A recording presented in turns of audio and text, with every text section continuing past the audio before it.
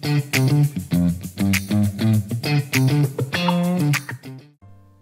guys, welcome back to the channel. Have you ever heard of a codominant stem tree? Well, let's quickly break it down. Codominant stems are when a tree has two or more main stems or trunks that are all fighting for dominance. Unlike a single strong leader or trunk, codominant stems form a weak union.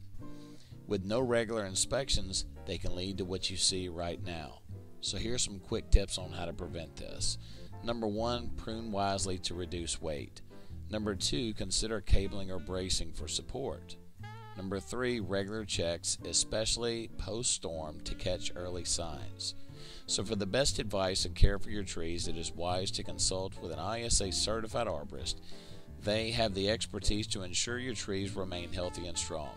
Don't forget to like and subscribe, and I'll see you in the next video.